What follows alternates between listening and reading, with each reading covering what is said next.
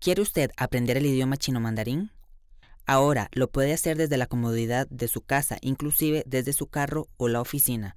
El Instituto Confucio, junto con Radio U, le traen una nueva propuesta llamada Costa Rica Ni Hao, una radio revista sobre el idioma y cultura de China. Tenemos un diálogo que explica cuestiones culturales, pero también expresiones ¿verdad? lingüísticas puramente de lengua para que la gente aprenda a decir hola, a decir adiós, ¿verdad? a decir gracias, etcétera. También tenemos sección de cultura china propiamente, tenemos sección de cocina, tenemos dichos y proverbios seguido del número y al final agregamos soy. El programa es transmitido por Radio U 101.9 FM los lunes a las 3 de la tarde. Durante media hora sus conductores buscan unir dos culturas, la china y la costarricense, mediante diversas actividades como trivias, recetas de cocina y rifas de libros donados por la Embajada China en Costa Rica. La Embajada China nos donó libros para poder donar, para poder dar, perdón, por medio de trivias. Entonces nosotros realizamos trivias a quienes nos llamen o por medio de redes sociales y los premios son donados, muchos de ellos por la embajada.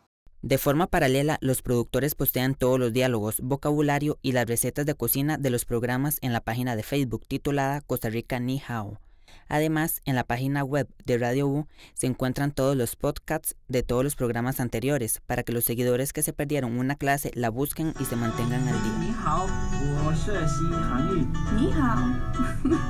hao. Aprender por radio es muy diferente que aprender, digamos, en un salón de clases o por televisión, porque uno no tiene ese apoyo visual que es tan necesario, más si las personas son más visuales, por decirlo de alguna forma.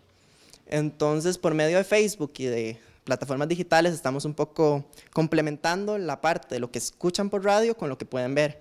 Eh, la idea de esto es que a Facebook eh, nosotros subimos los diálogos, subimos las cápsulas, subimos información para que la gente pueda como complementarlo con lo que oyen por radio.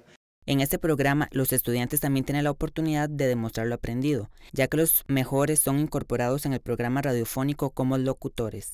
Este es el caso de Jimena Chacón. Ha sido una experiencia increíble porque, bueno, somos varios estudiantes del Confucio que estamos trabajando en esto de Costa Rica Ni en Radio U. Así que ayudamos con lo que es el guion o siendo locutores o en las diferentes cápsulas. Y ha sido muy bonito porque podemos... Eh, básicamente demostrar todo lo que hemos aprendido, ya sea culturalmente o sobre el idioma, en este espacio y compartirlo con el resto de las personas. Ya lo sabe, Costa Rica Nihao es la ventana que lo lleva a conocer sobre la cultura y el idioma chino, con solo sintonizar Radio U 101.9 FM los lunes al ser las 3 de la tarde.